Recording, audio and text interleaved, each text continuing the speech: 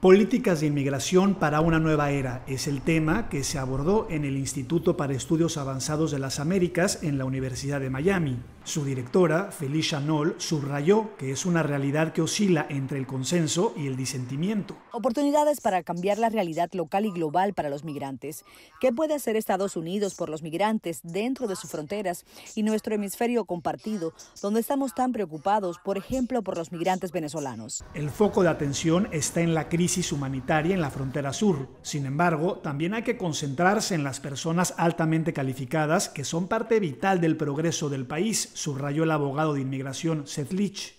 La mitad de todas las compañías de Fortune 500 de Estados Unidos fueron fundadas por inmigrantes. Aproximadamente una cuarta parte de todas las patentes que se están emitiendo en los Estados Unidos a científicos provienen de inmigrantes. Según María Rodríguez, directora ejecutiva de la Coalición de Inmigrantes de Florida, existe un amplio consenso que los inmigrantes hacen crecer la economía. Sin embargo, el contraste es sustancial. El 70% de los inmigrantes indocumentados son trabajadores esenciales, trabajadores de primera línea, trabajadores agrícolas que brindan seguridad alimentaria y la seguridad alimentaria es un problema de seguridad nacional.